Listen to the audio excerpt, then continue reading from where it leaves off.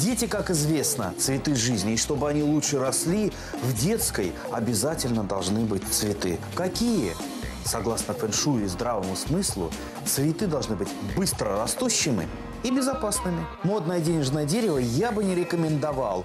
Шаловливые детские ручки обязательно повыдергивают, пообломают вот такие вот хрупкие листочки. Да и сок у денежного дерева недостаточно безопасен, если кто-то захочет попробовать его на зуб. А я выбрал для детской монстеру и цветок, известный у нас под названием тещин язык. Эти растения очень неприхотливы и быстро создадут в вашей детской таинственные тропические заросли. Чаще всего знакомство у детей с растениями начинается с традисканции, которая растет прямо на глазах, а укореняется, вот если взять череночек, поставить в воду, буквально за неделю.